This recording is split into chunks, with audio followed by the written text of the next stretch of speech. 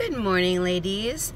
So we restocked three styles this morning, and two of them are already sold out. I can't believe it.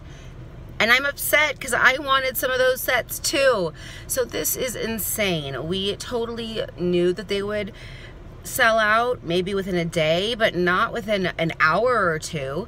So this just shows you how fast retired and restocked items just completely sell out so fast. So if you ever see a color, style, design, whatever it is that you like and it's not in stock, keep a watch on my restock updates because when they restock, they will come and you better hop on it.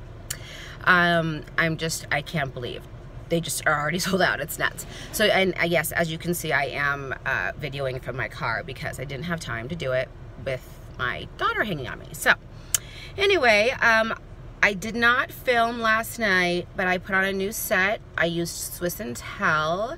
It's the uh, classic white with the coming up rose gold ombre glitter strip over. Um, that's what I used to get all the time when I did my biogels. And um, I wanted to get back to a little bit of my old simplicity. Now, since I didn't film, I am going to show you what they look like today, which is pretty damn on point.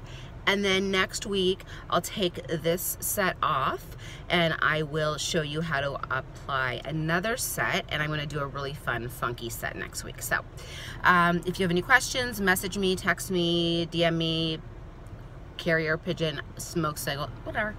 Um, have a great day, and I hope to talk to you soon. Bye.